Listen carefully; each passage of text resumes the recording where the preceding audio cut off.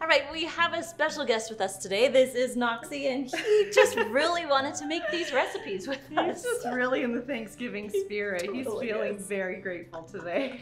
All right, today we are making Grandma's Thanksgiving dressing recipe. We grew up with this recipe. I have an 8 by 8 inch pan here, and I'm just gonna spray it with non-stick cooking spray. Look at you one-handed. I know. I'm doing great. Not only are these make ahead dinners, the or side dishes, these are make with the kid in your hand. Yes. there is stovetop stuffing, but to make grandma's stuffing, I like to use this. And then Okay. to this mixture, we're gonna add one cup of chopped apples. Nice. And any apple will work for this recipe. We've used Granny Smith. I think these are Gala apples. yeah. Really, How many apples did you use here? I used two. Two apples. Okay. So, and I just cut them up into little bite-sized pieces. And then we're also gonna add some fresh mushrooms. Nice. Nice. And then three stalks of celery. And we've just chopped those up pretty fine as Yeah, well, we did so- do these little. I, my kids will pick them out if they're a little bigger, Yeah. but little Oh, ones you in this the one is butter? Huh. Butter's good. I'm with you. Thanksgiving Mhm. dinner. Right. You know. Okay. And then this is the fun part. You're gonna add your one fourth cup of butter Okay. into one and a half cups of boiling water. And then the butter is just going to melt in the water. Nice. You can kind of stir it around and then we will pour this once it's all melted over the rest of the ingredients and mix it all together, fully incorporate it. Pretty much melted. There's a little bit of butter, but it will still. Yeah, It will it'll melt as we go, together. right? so carefully pour over everything. And then you'll want to make sure that your oven is preheated to 350 degrees. Degrees. Yes. So we'll just mix this together and then we'll add it in.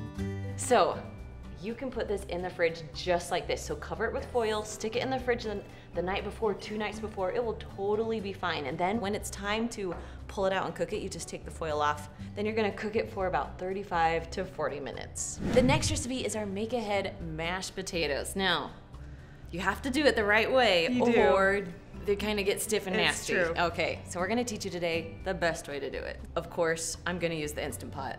It's There's just no what other I do. way. I know. Let's be honest. If you guys don't have an Instant Pot yet, I highly suggest getting one, especially if you're in charge of Thanksgiving, because Yes.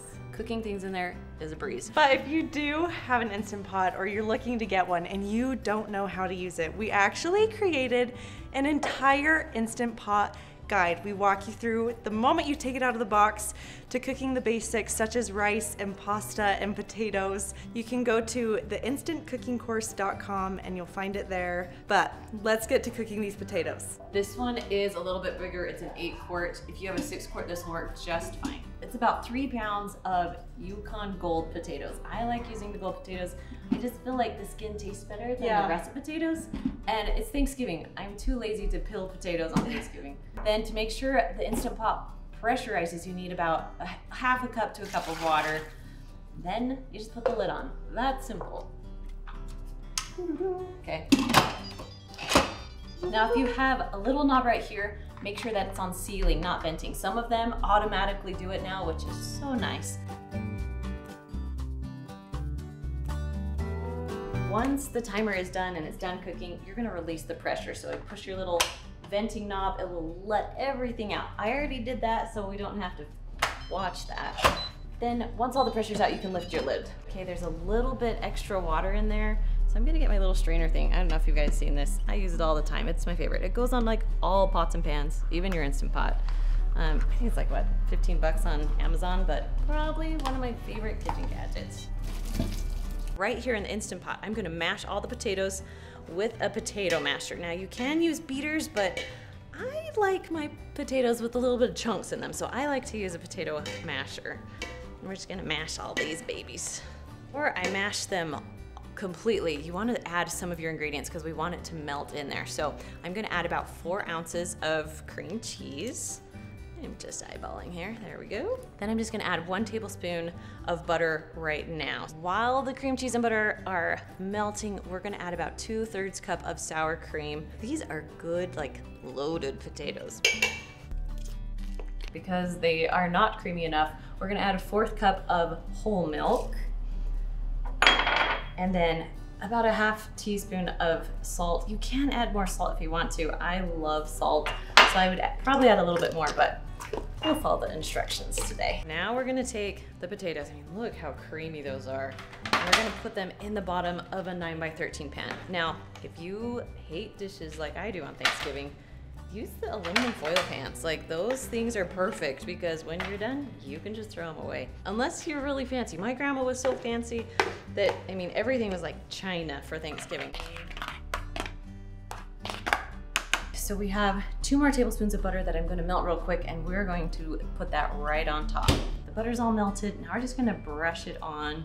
Now we want them all ready to go. So to make our lives a little bit easier, so I, I have a little paprika that I like to just sprinkle right on top. I think that just makes it taste so good. This is what my mom used to do.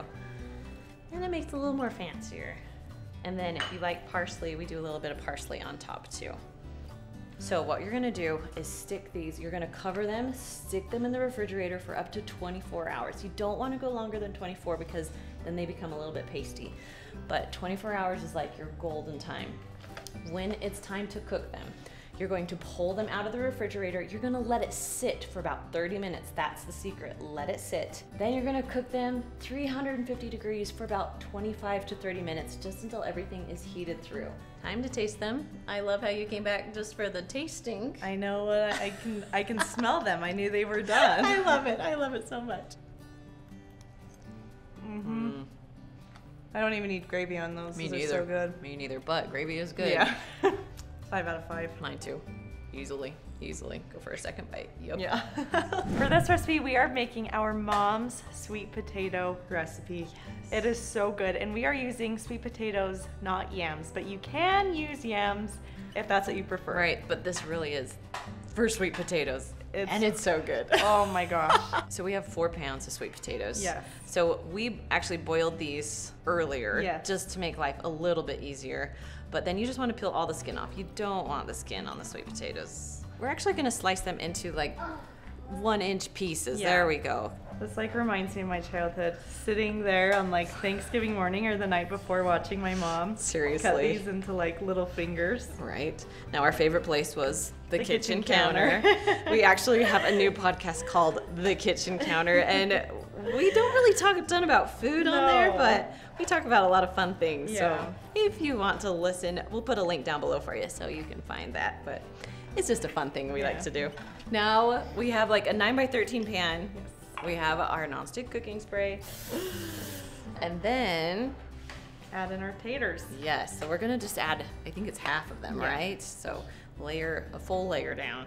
Sweet potatoes are on the bottom. Now we're gonna take, there's three tablespoons of butter here. We're just gonna take half of it and then cut up the other half. Spread them out the best that you can on top of the sweet potatoes. Now, every sweet potato is not going to have a piece of butter, eh. but that's okay. Ah. Yeah, you can eat one of those. You want this? It's not an apple, but it's just as good. Ooh, yeah. Yeah. then we have a half cup of Karo syrup. That so we're just gonna do half of it on top of these, and just like a nice drizzle. Mm. And we have a half cup of brown sugar. Ooh, that feels like more than half a cup. That's okay. okay.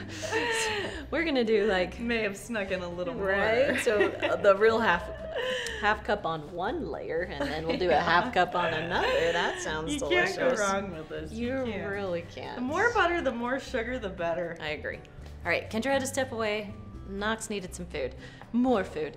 So, sweet potatoes are done. Now, this is how you do the make ahead. You're going to just cover this with foil right now, stick it in your fridge. Don't cook it yet, because if you cook it, it's gonna be too soggy. So, we're gonna pretend we put it in the fridge, we pull it back out. I'm actually gonna cook this because I want to show you the finish because oh, it's so good. And I, I might wanna taste it too.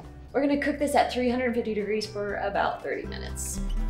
For the best part of the whole recipe, we have, oh yeah, what do we have, Knox? Some mini mallows, huh? So we're just gonna sprinkle these on top. I think mom always used pretty much the She whole used bag. The whole bag because they kind of like almost disintegrate Yeah. when you cook them. Like they puff up and then they. Shrink Yes. down a little. So you need a lot of You them. need a lot. So we will put this back in the oven for about four to five minutes. Let the marshmallows become golden beauties, and then we're gonna taste test. Before we sample, I'm gonna take this recipe next level. You ready for it? I am ready for it. Never been done before. Sweet cinnamon churro on top. All right. Okay. Now we sample. Mm-hmm. Five out of five. The last recipe is our classic green bean casserole. First, we're gonna have two cans of cut green beans. And I know it's cut, but I actually love the Me cut too. green beans in the casserole. You wanna pour that one in? Yes. And then we're gonna add in a fourth cup of milk. Okay. And then cream, Cream of mushroom. So good, so creamy. It is. For this casserole, I swear, like, you just need the cream You of do. mushroom. You really do. And then this recipe calls for one and one third cups of these crunchy fried onions. They are so good. Honestly, this makes the casserole for me. I could just eat these. So I'm just gonna add. Half the container. Yeah. I feel good about that. That's the nice thing about this recipe. Like, eyeballing is is okay. Yeah. Add some pepper. All right, we're gonna dump this in Okay. here.